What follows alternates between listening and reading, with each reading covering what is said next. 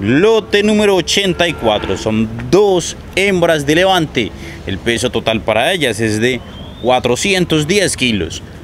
Peso promedio para cada una de 205 kilos procedente de San Francisco. La base es de 6 mil pesos por kilo. Pesadas a la 1 y 6 de la tarde. Lote 84.